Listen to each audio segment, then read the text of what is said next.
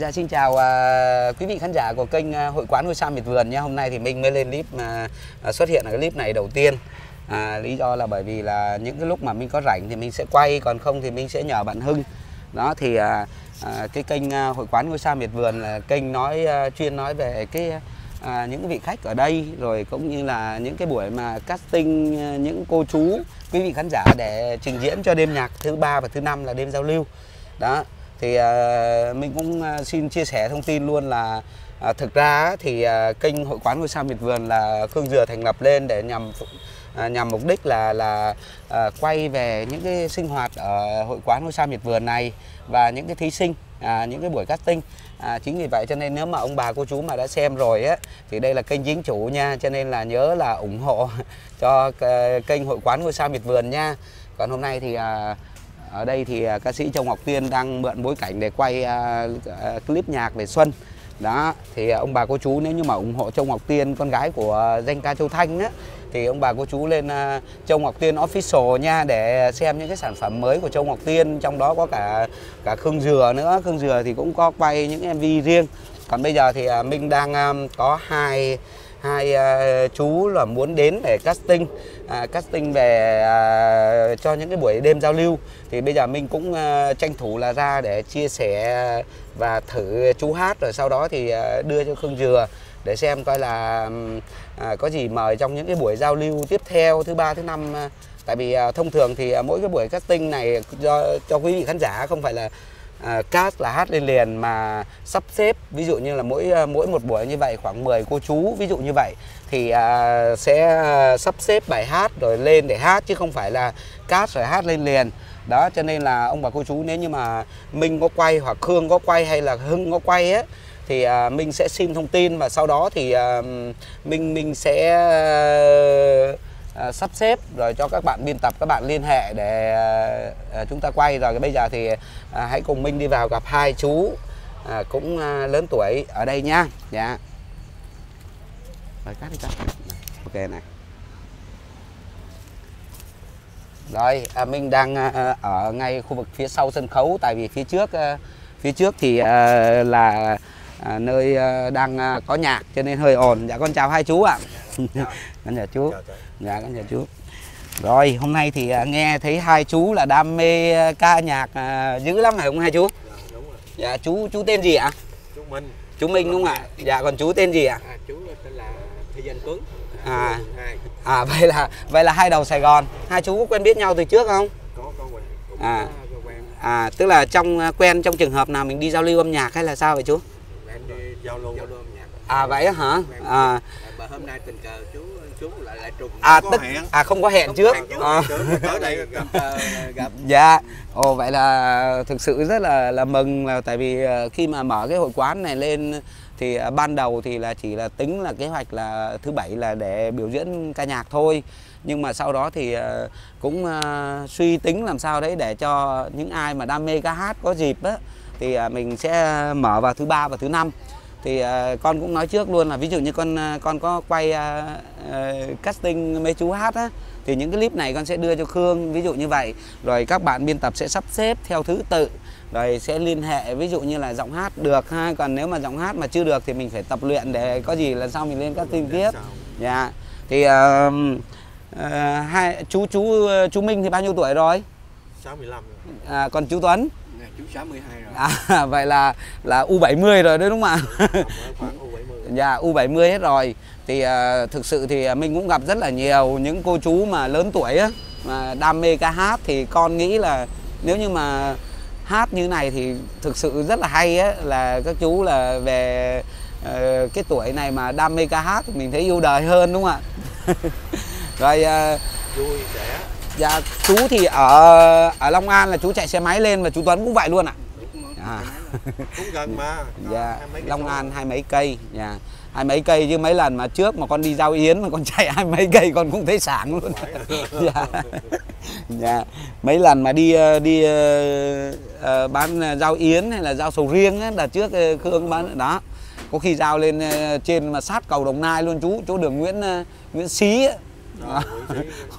nó xa cái nguyễn gì ta à, cái quận 9 á tức là cái đầu nó là ngay gần cầu Đồng Nai luôn á Cầu Đồng Nai Nguyễn Sĩ Dạ. phường Phước Long à. đúng rồi có lần đi giao xa nhất còn đến tận Nhân Trạch luôn Rồi. nhưng mà con thanh niên nó khác à, các chú lớn tuổi thì đi như vậy thì cũng thuộc dạng là là là cũng dữ à không Đấy. có ai nghĩ mà chú mấy năm trước làm ở Đà Nẵng mà đi xe máy mà từ Đà Nẵng về Long An luôn ồ vậy luôn á đi trong ngày luôn là là đợt đấy đi về ăn Tết hay đi. sao chú Tết á, Tết về đó. À đúng Chú, rồi ờ, đồng nghiệp ờ, à. anh là cũng tài xế mà chú cũng tài xế Nam Bắc. Chú ờ, trước À. chú ờ, tài xế ờ, của tổng cục xe lắp có chế miền Nam. À là xe ờ, mình mình ờ, đưa đưa công nhân đi hay là Không, xe tải xe tải lớn chú À. đi Nam Bắc đi ờ, thậm chí qua Trung Quốc luôn. Vậy là là chú là cũng cũng là tài xế luôn? Mà lái cần cẩu.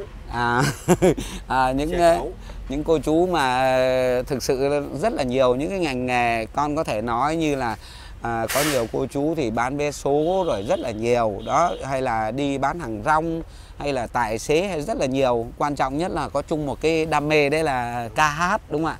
Thì con hy vọng là à, các chú à, sau cái buổi hôm nay thì sẽ à, liên hệ để lên chia sẻ vài bài hát. Tại vì à, thực ra thì à, khi mà mình trình diễn đây á, mình cũng chỉnh chu xíu.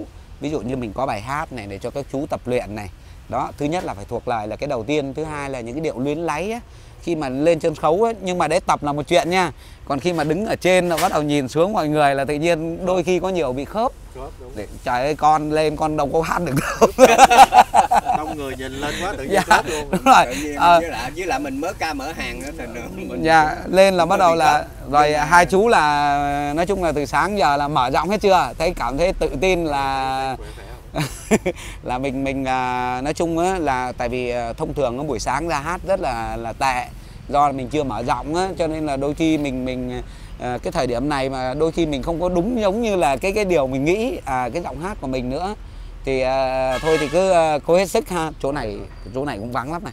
Đó, các chú là cứ thoải mái đi. Tại vì ngoài ra còn có ngại nữa. Chú không nhận không? Hai chú không nhận không? À, ngoài ra mình đôi khi sợ người khác nhìn mình. À, hát này chẳng may lên nó nó bị bể hay là nó bị rớt hay này nọ là tự nhiên. Rồi còn à, chú chú Minh thì thường là là giống như là là sở trường của mình là dòng nhạc gì? Nhạc bình thường nhạc ờ, Nó bolero hay- bolero tình ca rồi á. À dạ. Còn chú Tuấn? Chú tướng nhạc nào chú cũng ca được. À, ca cổ được không chú? Ca cổ được. À. với cải lương chú cũng ca được luôn. À đây đây con cầm chìa khóa giúp đây đó dạ. Đâu đâu con cứ ra bấm thôi. Ừ, để chú đang quay rồi ca à, em em tên Minh hả? Dạ con tên Minh. Dạ ờ, con là anh ờ, cọc chèo của Khương Dừa. À dạ.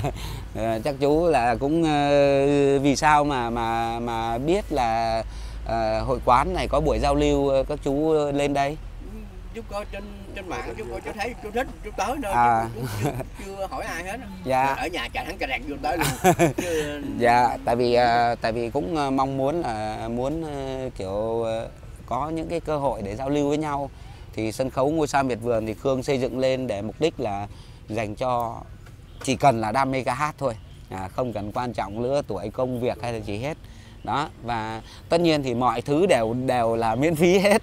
Đó cho nên là cũng rất là nhiều ông bà cô chú là ủng hộ. Thì à, thôi thì bây giờ chắc là con à, con nhờ chú Minh thử một đoạn ha. Chú Minh à, thử một đoạn bài hát nào vậy chú Minh ha. À, đây để để con đeo để chú hát cho nó rõ luôn nha. Rồi à, chú tính à, bạn chiếc áo bà ba ca một đoạn này chứ chú không có thuộc dạ không thuộc nhiều không con chỉ cần ờ, đâu đó Ừ. nếu mà nếu mà Khương nghe thì chỉ cần khoảng ờ, hai ba câu là là được rồi. Rồi. quan trọng là cái giọng của mình thôi chứ không phải là cái bài hát tất nhiên là nếu như mà được chọn á thì mình phải học thuộc nha rồi thậm chí là phải tự tin phải phải phải có trình diễn hình thể một chút xíu nữa thì nó mới vui. Chứ nếu như mà lên sân khấu mà cứ đứng cầm mic này mà ấy không thì nó ừ, nó không được đã lắm đúng không ạ? à, đúng rồi đó cho nên mình trình diễn giơ tay giơ chân bước tới bước lui kiểu Đúng vậy rồi đó cũng Dạ. phải tay chân phải biểu Dạ, diễn diễn xuất rồi. Dạ. À, Rồi, bây giờ chú ờ, chú Minh thử ờ, một đoạn chiếc áo bà ba nha. rồi rồi. Chiếc áo bà ba trên dòng sông thăm thầm thấp thoáng con xuồng bé nhỏ mong manh. Non lá đồi nghiêng, tóc dài em khẽ gọi. Hầu Giang ơi, nước xuôi xuôi một dòng con thấy hát tốt hơn lúc sáng này đấy chắc là Ừ, do mở rồi. giọng rồi đó đó Dạ. rồi sáng làm như nó, nó không có hơi nó với lại với lại nhiều khi là là chúng mình là gặp khương đôi khi bị khớp lúc sáng khương Cũng thì có, có có một có, lần, đúng giao rồi. lưu với lại khương rồi nhưng mà khương mới nói bảo thôi chú cứ nghỉ ngơi đi vừa chạy xe máy lên mà hát này đôi khi vừa mới sáng sớm ra cũng như là mình đi thì cũng phải mệt chứ làm như nó chận ở chỗ này nè cái hơi lên không được Dạ. Rồi vậy à, để con con sẽ gửi cái đoạn clip này để cho cho Khương rồi có gì đấy thì à, à, chút xíu nữa thì con sẽ xin số liên lạc của hai chú luôn. Rồi, À, rồi. tức là cứ mỗi lần casting vậy con sẽ xin hết số của các cô chú để khi nào mà các bạn biên tập các bạn à, thấy phù Sắp hợp với được. chương trình sắp xếp thì sẽ có cái để liên hệ. Rồi. Chứ còn nếu mà cứ ngồi test này xong không có xin cái gì rồi vài bữa trời Rồi, cái chú này ở đâu ở đâu, Đúng rồi, thì- ở đâu. thì không biết đâu mà tìm. đúng Dạ. rồi đúng rồi Rồi à, cảm ơn chú Minh. Rồi bây Rồi. giờ con con nhờ chú Tuấn à, chú Tuấn tính à, tính thử cái gì? À, mẫu trường của chú là gì? ừ, Thôi ca cổ đi ha. Rồi thử thử. Rồi ca nhạc trước rồi ca cổ sau nha. mình Chú Minh có ca cổ được không? được luôn Rồi vậy tí nữa con à, con nhờ chú thôi. ca cổ hình như là hơi bị hay luôn á Ồ thế thì được rồi. Bây giờ mình à, xin hát một bản của Phương Thanh là Một thời đã xa. Rồi. Đừng buồn em hỡi, khi lỡ nói yêu anh rồi. Bần lòng chi nữa, Hỡi em xin hãy quên anh đi. Giây phút bên nhau, Em sẽ quên mau. Chỉ có anh thôi giữ mãi bóng hình xưa. Đời ai cũng có giây phút chót yêu dài khờ. Và em đã biết biết em sẽ chẳng yêu anh đâu. Anh sẽ không quên giây phút bên nhau em đã chào anh chào anh nụ hôn ấy Rồi.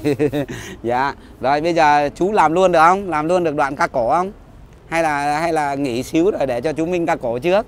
Đây chú Minh. À, rồi chú Minh à, thử một đoạn ca cổ trước nha. Dạ, bản ca cổ mà đó không thuộc Dạ.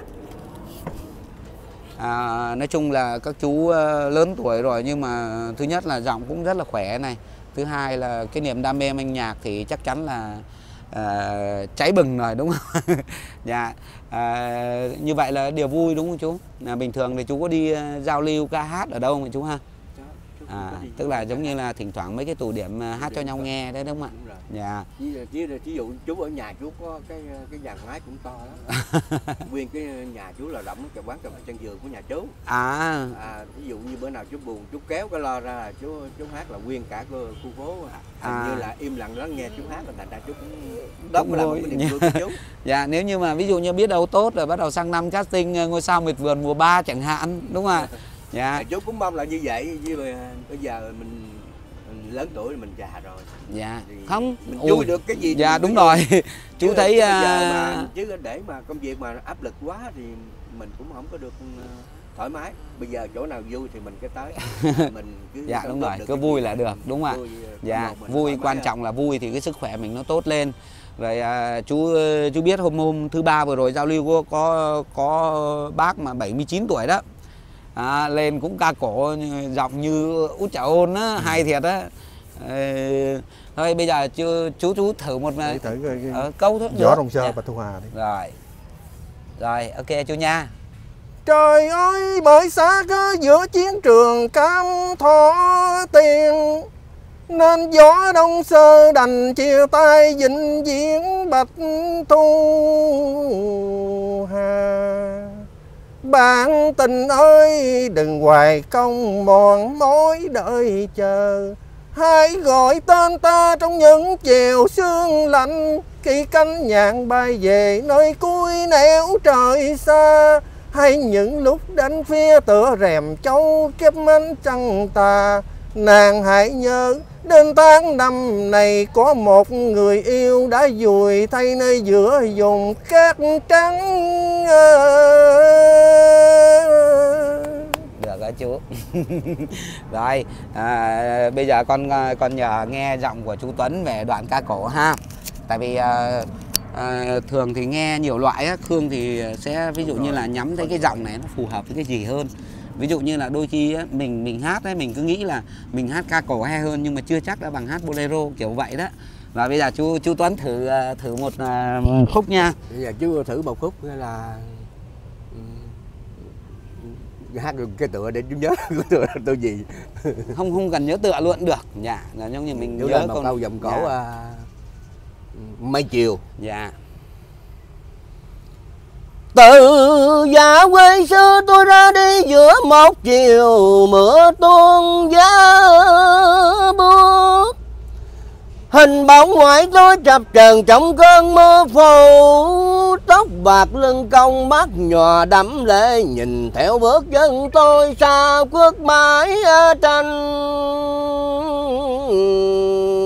nghèo. Rồi con cảm ơn. Thì cái đoạn là à, cái đoạn này con sẽ cắt ra mấy cái ờ, cái clip mà chú hát á để con sẽ đưa tại vì bọn con là có một cái ờ, cái group là đưa lên để bắt đầu là các bạn là vừa các bạn biên tập xem vừa cương xem để xem coi là những cái giọng nào à, phù hợp với chương trình nào và có tốt hay không để, để à, Để có gì đấy thì à, sắp xếp thời gian. Tại vì cái buổi giao lưu này mình cứ diễn ra hàng tuần mà. Ví dụ như tuần này không tuần này thì tuần sau rất là nhiều. À, tức là cứ diễn ra thứ năm thứ ba thứ năm thì à, cũng à, mỗi hôm thì chắc cũng phải được mời cô chú hát á. Đó cho nên là cũng hy vọng là à, trong cái thời gian sắp tới thì à, à, được thấy hai chú đứng trên sân khấu bắt đầu Dạ. trình diễn ca khúc của mình Dạ. nghe em nói vậy giờ- giờ- giờ cũng vui cũng mong là anh em mình sẽ gặp nhau Dạ. thường xuyên rồi cảm ơn à, hai chú đã ghé thăm hội quán và chung một cái niềm đam mê âm nhạc ạ Dạ, dạ, con chào cảm ơn em Dạ. rồi cảm ơn cái luôn em gái à, quay phim nha Dạ rồi à, mình cũng à, rất là vui bởi vì hội quán ngôi sao miệt vườn là luôn à, nhận được cái tình cảm của các cô chú rồi từ rất là nhiều nơi từ Bình Dương, Long An thậm Tình- chí tình là miền yêu Tây luôn. nên Dạ. thành ra mới mới từ Dạ, nhà chạy cái đèn lên đây. Dạ. à, thì đấy ví dụ như là chú sáu mươi mấy tuổi rồi chạy xe máy hai mươi mấy cây số để lên đây hay là chú từ quận 2 xuống cũng phải hai mươi mấy cây số chú. dạ. cũng phải hơn hai chục cây đó. Đấy, toàn trên 60 luôn thì đấy cảm thấy là rất là à, vô cùng hạnh phúc khi nhận được những cái tấm lòng của các cô chú như vậy. Rồi một lần nữa thì à, Minh à, xin gửi lời chào và hy vọng rằng là trong cái tương lai gần đấy thì à, Minh sẽ được à, à, nghe những giọng hát của rất là nhiều các cô chú ở mọi miền à, đến đây. Dạ rất là cảm dạ. ơn. Em mình. Rồi con chào. Dạ xin chào tạm biệt